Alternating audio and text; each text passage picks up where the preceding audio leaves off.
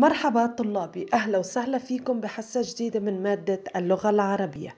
اليوم حصتنا نص مسموع بعنوان الغراب والجرة. في يوم صيفي حار عطش غراب. فأخذ يبحث عن الماء وبعد البحث الطويل وجد جرة فيها ماء. حاول أن يصل إلى الماء بمنقاره فلم يستطع. فكر طويلا كيف يمكن أن يصل إلى الماء. نظر حوله فوجد حجارة صغيرة. أخذ الغراب يلقي الحجارة في الجرة. ارتفع الماء إلى الأعلى.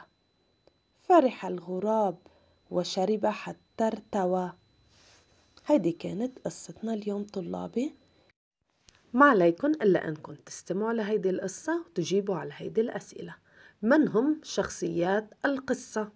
من هم شخصيات القصة؟ ما مشكلة الغراب؟ ما هي مشكلة الغراب؟ ما هو الحل الذي وجده؟ ما هو الحل الذي وجده؟ ما العبرة من قصة الغراب والجرة؟ ما علينا إلا نستمع على القصة وبعدين نرجع نجاوب على هيدي الأسئلة ونستنتج العبرة من خلال قصتنا اللي كانت اليوم. ما تنسوا طلابي تتواصلوا مع المعلمة عبر تطبيق زوم إلى اللقاء طلابي في حصة قادمة من مادة اللغة العربية. إلى اللقاء.